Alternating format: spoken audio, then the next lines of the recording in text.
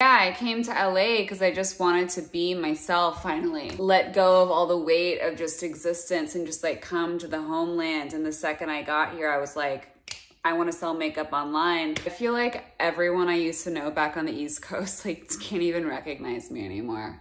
And quite honestly, I want to keep it that way. I actually used to work in the corporate world and then I left because I had a mental breakdown and then I came here and I started talking different and like I think that like my voice started to rest in its natural state, you know? Like I used to talk up here and now I just kind of vibe. My friend Josh, he like has this company. He's sort of my boss, like my friend, like we've hooked up a couple times. It's not weird. Um and so we're like live in a content house. So a buddy of mine is really close with the kid from Modern Family and he's having a party there.